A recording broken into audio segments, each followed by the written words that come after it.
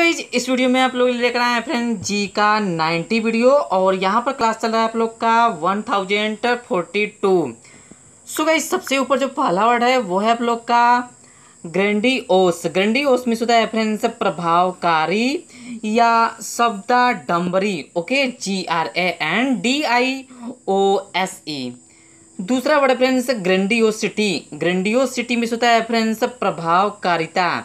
या शब्दा डम शब्दाडम्बरता ओके?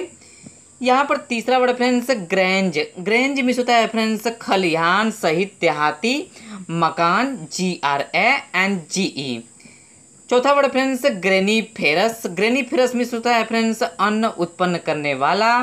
और फ्रेंड्स अन्न आप लोग का ग्रेन का मतलब होता है G R A I N grain का मतलब होता है फ्रेंड्स, अन्न, जो कि यहाँ पर लिखा गया है, ग्रेनीफेरस मतलब कि अन्न उत्पन्न करने वाला। यहाँ पर नेक्स्ट वर्ड है granny form granny form means होता है फ्रेंड्स, अन्न के दाने के सदृश। मतलब कि अन्न के दाने के समान, ओके? ग्रेनी फार्म ग्रेनाइट तो आप लोग जानते ही हैं फ्रेंड्स, ग्रेनाइट का मतलब होता है इमारतों में प्रयुक्त होने योग्य कड़ा पत्थर। आप लोग यहाँ पर पूरा लिख सकते हैं। इमारतों में प्रयुक्त होने योग्य कड़ा पत्थर ग्रेनाइट। जैसे कि आप लोग देखे होंगे फ्रेंड्स, इसका प्रयोग सीढ़ियों में आजकल हो रहा है। और इस वीडियो का जो लास्ट वाला वर्ड है फ्रेंड्स, वो है आप लोग का ग्रेनी वरस ग्रेनी वरस मिस होता है फ्रेंड्स, अन्न के दाने खाने वाला। ओके? ग्रेनी वरस सो गाइज़ एक बार और यहाँ पर रिपीट करते हैं ताकि आप लोग पूरा हो जाए सबसे ऊपर जो बताए हैं, वो है आप लोग का ग्रेंडी ओस प्रभावकारी या शब्दा डम्बरी होता है।